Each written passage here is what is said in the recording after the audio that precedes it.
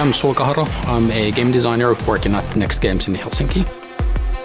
The Walking Dead Our World is a location-based game where when you open the game you see a map of your surroundings. You're playing everything on location and everything happening in the game is actually tied to where you are exactly in the world.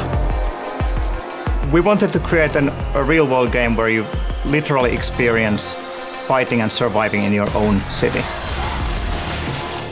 Every one of the players is in a shared reality so you can actually go and play the game on the street with your friend and see the exact same things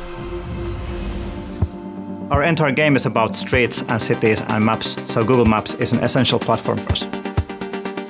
With Google Maps, you can use more and more real-world data as a part of your game, and that will help you create the aesthetic of blurring the line between game and reality.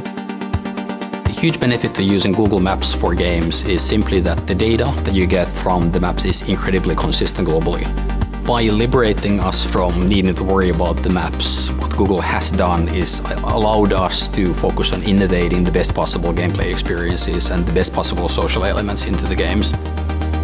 We managed to avoid quite a bit of tech trouble by being able to trust that the map data is consistent across the world, especially in the visuals where we can use the building height data and landmarks to make the game feel more alive.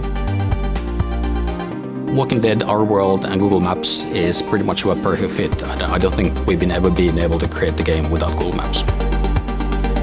I'm really looking forward to seeing what other developers actually do with location-based games and the Google Maps platform.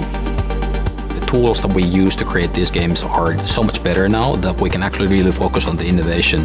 I can't wait to play all the games that other developers are creating with Google Maps.